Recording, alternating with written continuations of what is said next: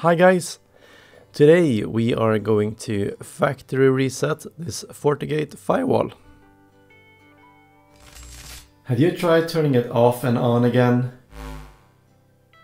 Alright, so we got our hands on a FortiGate firewall. This is a 60E and yeah, it has a reset button, some power plugged in and of course some uh, LAN ports, fan ports and uh, also a console port. So I will start by unplugging the power and I'm going to show you how to use the reset button and also how to factory reset this via the CLI. But first let's factory reset it completely with this little pin and uh, you hold the pin while you unplug the power and then plug it back in. So I will hold the reset with this pin then plug in the power and I'm gonna rotate it so we can see the status LEDs, the power LEDs. And yeah, now we have a better view of the switch. So uh, yeah, I'm still holding the reset button in the back. And what we are waiting for is the actual status LED to start flashing. And uh, at least on this model, it takes quite a while. So I will not cut this video and I will not fast forward it just to make sure that you get the exact time that it takes. So now the ports did flash, but we are still holding the reset button and we are going to hold it for quite some while. And uh, yeah, as I said, I will not cut and not fast forward because it's quite important, at least in these scenarios, to and you were, when you are watching tutorials did I hold it uh, long enough or should I release it now? So we are actually going to do this exactly one to one for the time. And uh, yeah we are just going to wait until the status LED start flashing. And when it starts flashing we are going to release. So I will stop yapping now and we will wait for the status LED to flash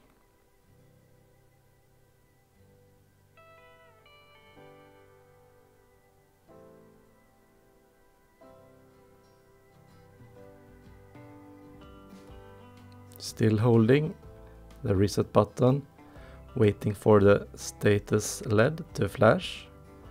Takes quite a while.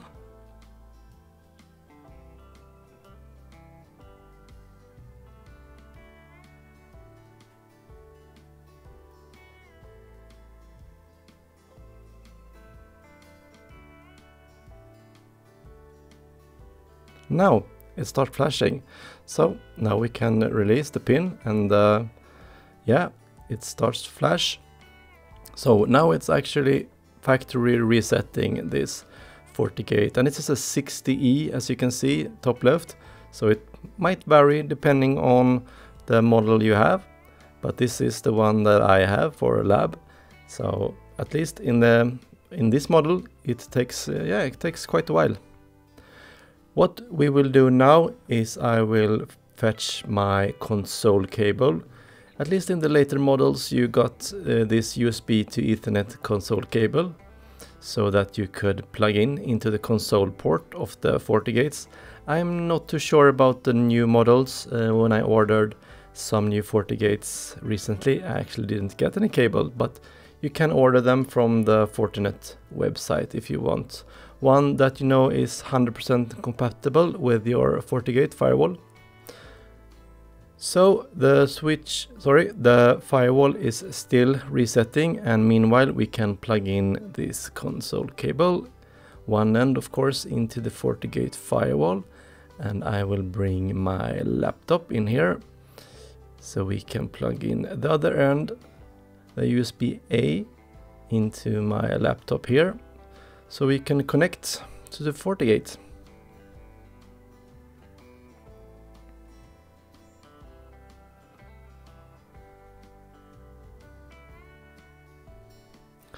I will bring the camera to the screen so we can see what we gotta do now. So now basically we want the terminal program so I will uh, open up uh, PuTTY but first actually the device manager to check what port my COM cable got assigned to. So if we go to the device manager, open up ports, we can see that this cable got assigned COM3 and this yeah can vary quite a lot. So it's important that you do it uh, like this. And here we can see the status LED is not lit yet. So this is still booting up and uh, doing the factory reset. Not until the status LED starts to go green we can actually connect to the switch. But meanwhile let's prepare a bit. So yeah let's see. Com3 let's open up a putty session. And here we will go with serial because we are connecting with a console cable com4 is not it we are going with com3 and I believe the speed is 9600 for this model at least. So here we have prepared everything, COM3, the right speed, and um, when the FortiGate starts to go green on the status LED, we will be able to connect to it. I can press open meanwhile, and it will actually recognize the connection once uh, the FortiGate is ready. But so far it's not so it's taking quite a while. But we just have to be patient and uh, wait it out a bit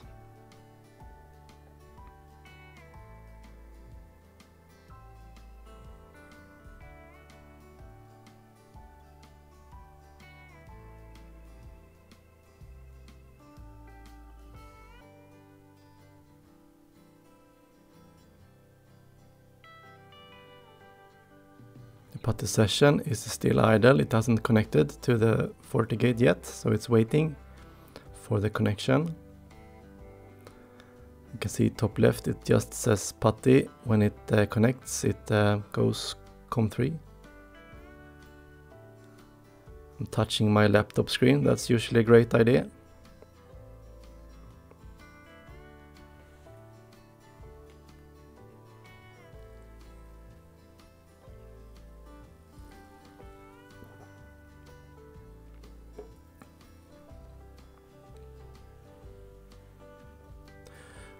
There is uh, sees COM3 top left, so something is happening with the firewall right now. I think we should be in soon. Yeah, there is. We have the prompt to log in and the default credentials, at least for this model, is admin. So I will just type admin, enter. Password we will leave blank, so we just hit enter here. And here it says, yes, we need to put a new password. So I will just type a password and I will type it again. Welcome, we are now logged in to a completely factory reset FortiGate firewall, so that's pretty cool. It took quite a while, about, uh, yeah, maybe 7 minutes in total.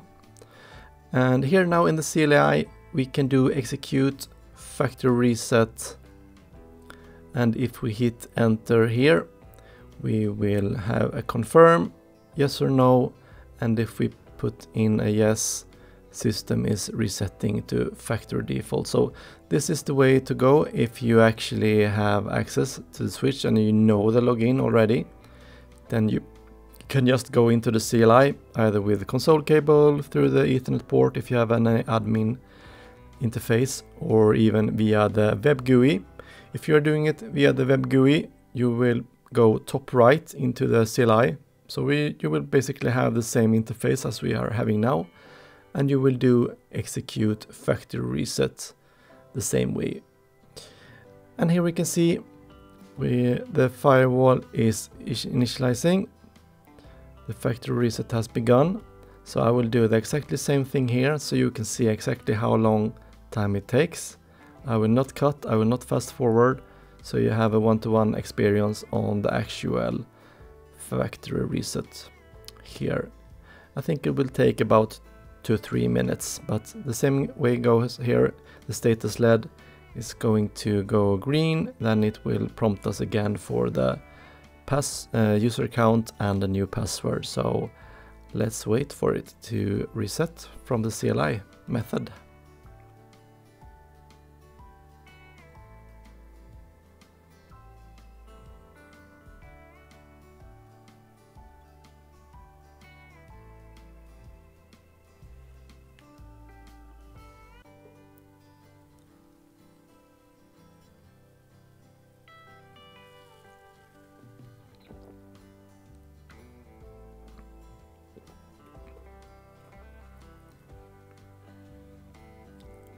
And we are still waiting for the system to reset.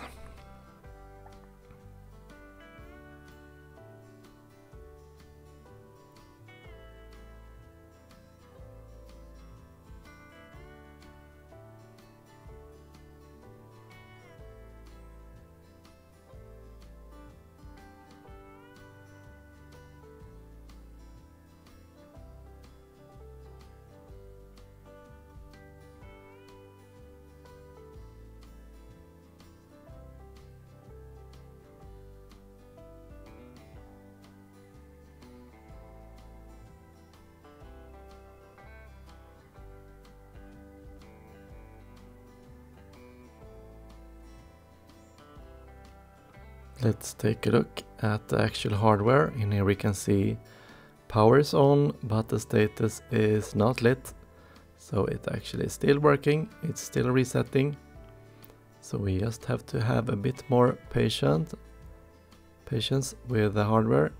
It's going to reset 100% if it's working correctly. So we just wait a bit more.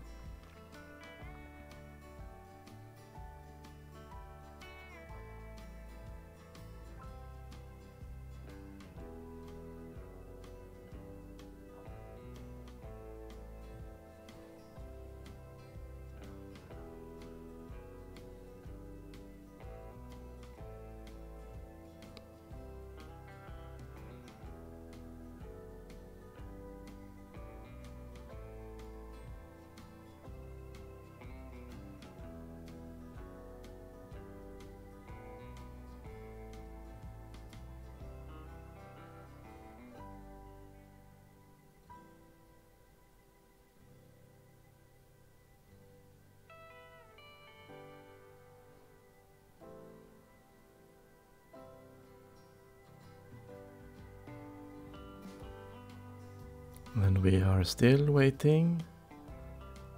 Something is going on now. It jumped a line. Let's see on the status LED. It turns green.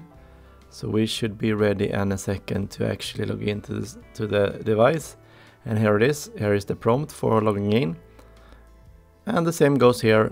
Admin, hit enter, password, hit enter, type a new password, enter, confirm that password and we are in again. So there are the two ways to reset it. Leave a like and subscribe. Bye bye!